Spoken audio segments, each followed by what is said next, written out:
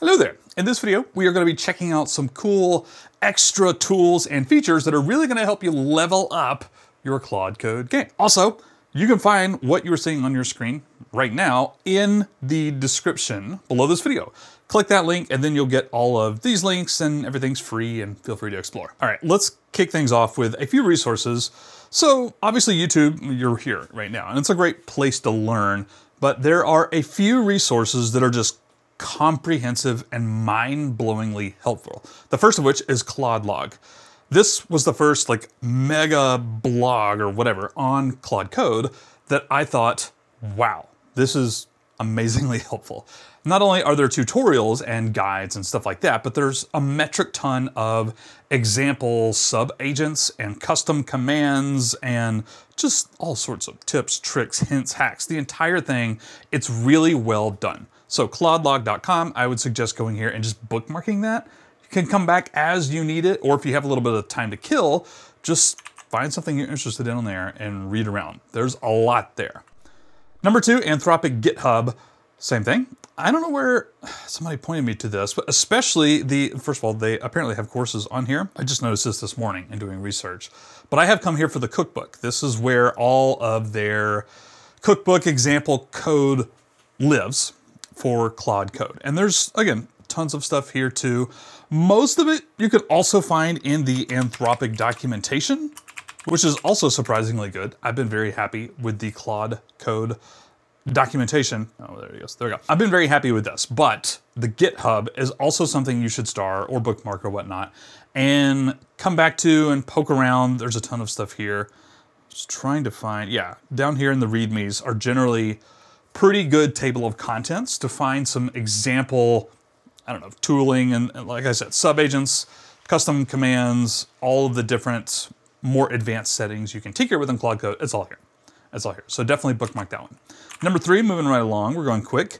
There are two other GitHub accounts which I have found really helpful. This one I have come back to again and again. I recommend it's a lot to scroll through. But going down to the README and starting here, it's a good table of contents for Claude Code sub-agents. There's one more for sub-agents as well, which I actually just discovered doing research for this video. I haven't really gone through and actually used any of these agents, to be very clear, but I did look at his master list, I guess you could say, and I was very impressed, and there were some intriguing ones that I want to try out. This one I can speak for. I've used some of these and I continue to use some of these, especially the Git related ones. And there's a ton of stuff here from marketing, business stuff, in addition to just normal code, right? A metric ton of sub agents you can just literally copy and paste. They link to it directly in the README and they're great. Grab these, tinker with them, etc. Moving right along, one more article and then I want to get into some bigger resources. This one I found, I can't remember the guy's name on YouTube. Somebody pointed me to this on YouTube and I went through and sure enough, it's awesome. It's a couple of months old at this point. It has not been updated for some of the like newest, newest features, but this is an evergreen piece of content for agentic coding, which is what Claude Code is, of course. But if you are brand new, if you're experienced, by the way, you really don't need this article anymore, I think. But if you're brand new, start here. Instead of going to the documentation to try and figure out what is going on, I recommend starting with this best practices article.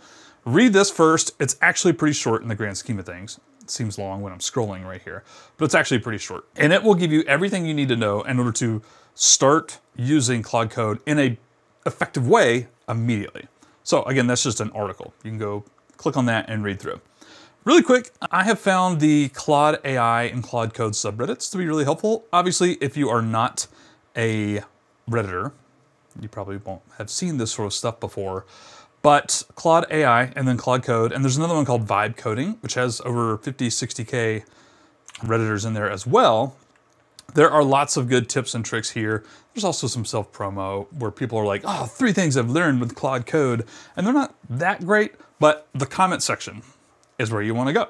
For each of these, I would look at like the top post in each of these, top we'll say the past like month even.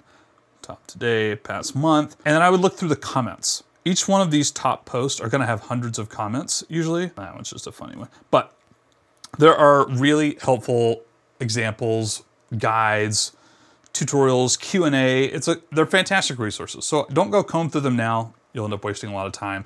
But if you are a Redditor, obviously go join them and then you'll see them pop up naturally, right? There's a good, good ways to keep in touch with new changes as well, news and stuff like that. So let's switch gears a little bit and talk about a few tools. Let me start with the MCPs. I feel like there are three or four that you'll see everywhere on every YouTube video, like the one you're watching right now.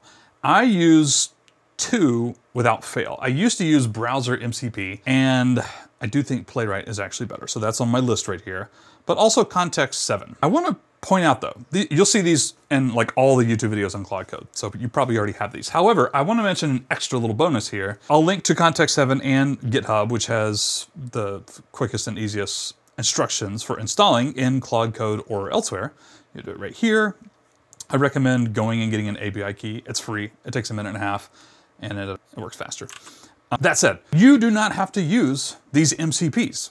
These are both standalone tools outside of agentic MCP. So for example, Playwright, you don't need to use the MCP. In fact, there are a lot of people that complain that Playwright, you know, takes screenshots, it analyzes your logs in real time, your network logs as well, and, and just, it's fantastic. But it uses a lot of Claude Code tokens. It can be better to just use Playwright, the Playwright, not Playwright MCP, just the Playwright, right? And you can go here and see they have great documentation as well on how to install these, usually just an npm package or whatnot. It works in like every browser. It's fantastic. Or you could just use the MCP and be lazy, in which case you'll just install the Playwright MCP. It'll take screenshots automatically. It does start to clutter up your code base. What am I doing right here? Let's see, Playwright, like it'll take a bunch of screenshots. I constantly go through here and I'm like deleting them just because it doesn't delete them automatically. There might even be a setting for that. Somebody should let me know if that's the case. But other than that, make sure to clean out your screenshots just because they take up, you know, normal file size on your computer. I recommend putting them in git ignore, by the way. I think it, I can't remember if it did it by default or not anyways. But anyways, go in your git ignore file and make sure that you have, no, mine's not in there, so must not do it on autopilot. The Playwright MCP. If you use the MCP, just know it's gonna take a bunch of screenshots and put info in there and you need to clear it out. But you don't have to use the MCP. Same thing for Context 7. I know I'm going all over the place, forgive me. But you can actually search for Svelte, I can type, there we go. You can actually grab these, just get the documentation you need. You don't have to do literally the entire thing. You can actually download them or copy them and put them in a, I don't know, a markdown file in a context folder or a, a documentation folder. You can create a documentation folder in your repo and then just make sure Claude knows about it. You can even tell Claude, uh, hey, add this to the claude.md file. So we'll reference this context for the documentation for, for me, it would be Svelte 5 or SvelteKit or Firebase or Supabase or Tailwind CSS or Daisy UI or like Shad, um, whatever. It doesn't matter. You can download them here instead of using the MCP. And then just, you could even just put it on a random place on your computer, I guess, or you just drop it right in your code base and just reference it.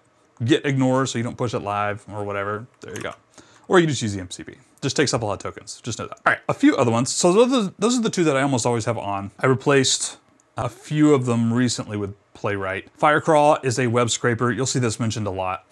I've used it only once or twice, but it does work really well.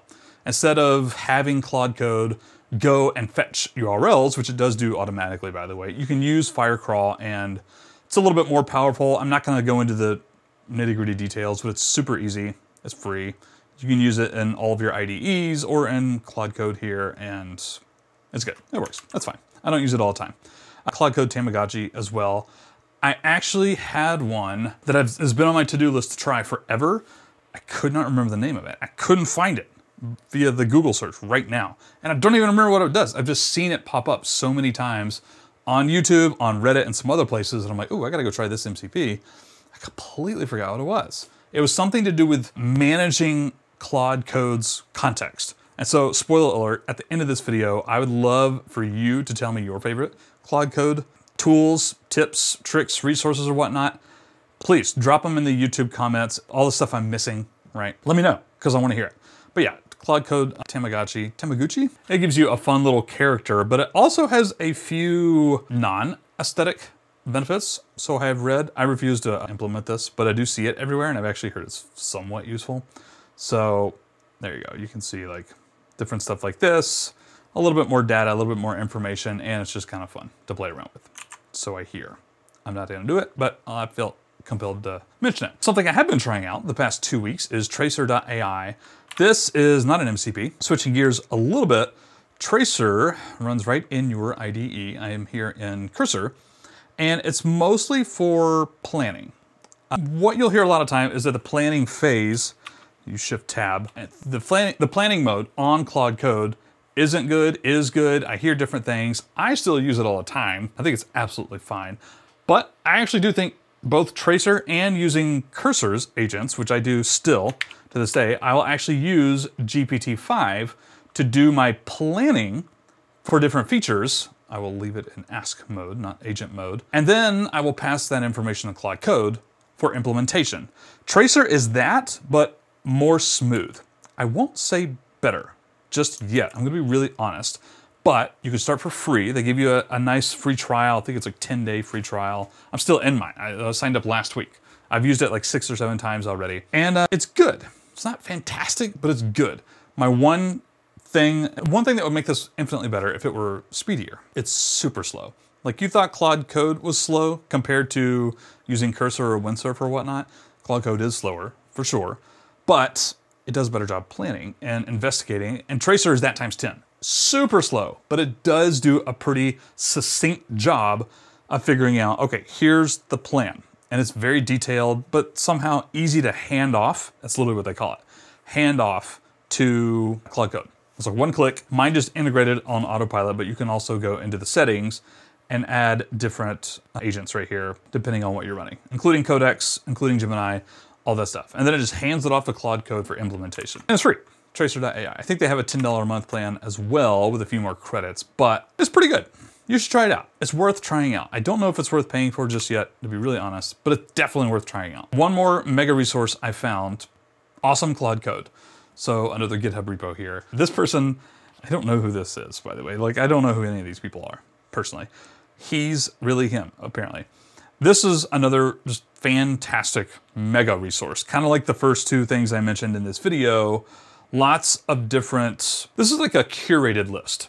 It's not just this person creating content. As you can see, eh, they actually list the authors here as well. But this is like a mega list of mega list for all the different tools, subagents, commands, all that good stuff. CC usage, CC flare, like this is apparently like an MC tooling slash commands, and then Claude MD files. Oh, is this the one?